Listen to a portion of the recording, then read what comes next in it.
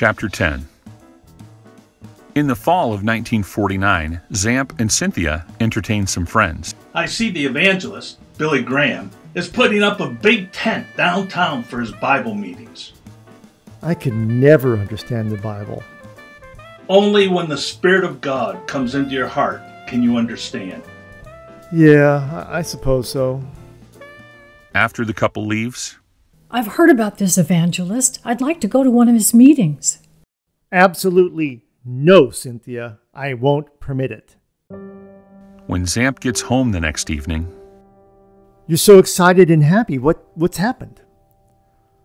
I went to hear Billy Graham. Zamp, it was wonderful.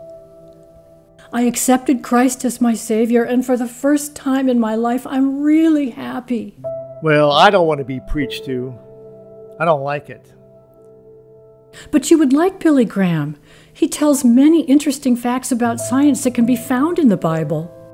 Science? the mention of science interests Zamp. By the next night, Zamp agrees to go to a meeting, but just once. In spite of himself, Zamp returns night after night.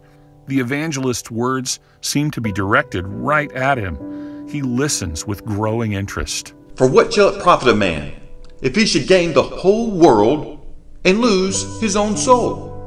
For by grace are ye saved through faith, and that not of yourselves. It is the gift of God, not of works, lest any man should boast. You may not think you can lead a Christian life, but Christ will help you. Zamp struggles with his conscience until the impact of Billy Graham's words finally hits him. On the last day of the crusade, Zamp truly commits himself to God for the first time in his life. Forgive me for the promises I never kept, oh God. Zamp finds that accepting Christ as his Savior makes him happier than he's ever been, but he soon learns that Christianity demands more than just acceptance. What's wrong, Zamp? You were so happy for a while. Lately, you're worried and unhappy.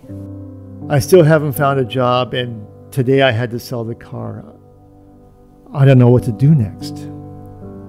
On the life raft and in the prison camp, Zamp asked God to change his circumstances. This time, Zamp asks God to change him, and his life is truly different. Will Zamp find his purpose now? Tune in next time for Chapter 11 of the Louis Zamperini story